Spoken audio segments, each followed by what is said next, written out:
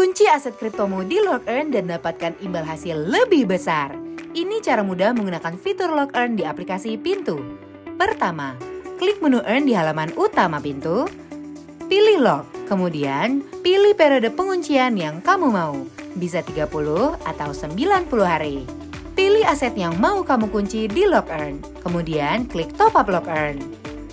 Masukkan nominal aset yang kamu mau lalu klik Lanjutkan. Pada halaman konfirmasi, pastikan semua info sudah benar.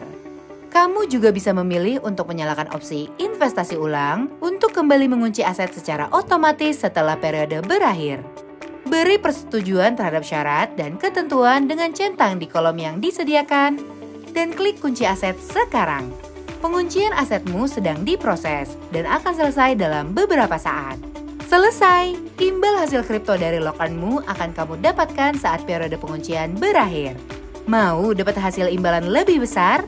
Yuk tingkatkan terus imbal hasil lokanmu dengan staking lebih banyak PTU.